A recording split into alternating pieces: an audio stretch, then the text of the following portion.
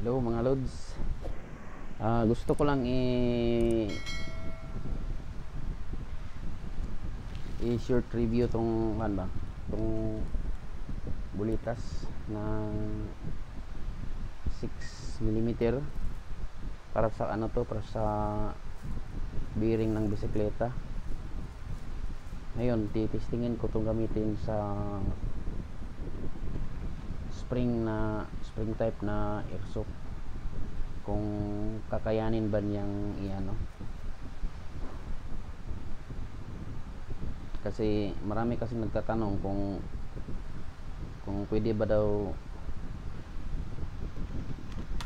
gamitin ang kuan yung steel BBs sa ganitong klaseng airsoft. Parang wala pa naman ako nakikitang nag-review ng ganito so quick review lang to guys. Titistingan ko lang kung gagana ba talaga siya. Itong gagamitin natin ah titistingin natin kung kaya ba ito niya basagin. Ah ito guys ah, loaded na siya. So let's go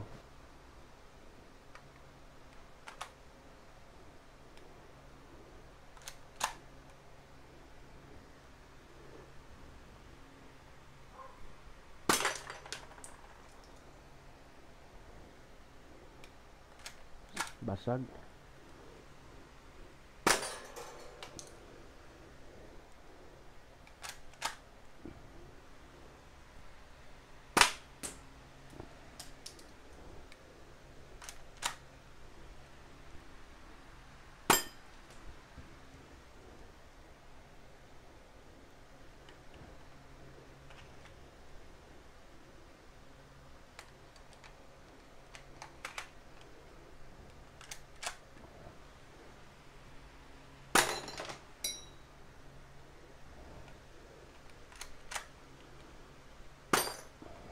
So ayun guys, nakikita naman natin kung anong nangyari.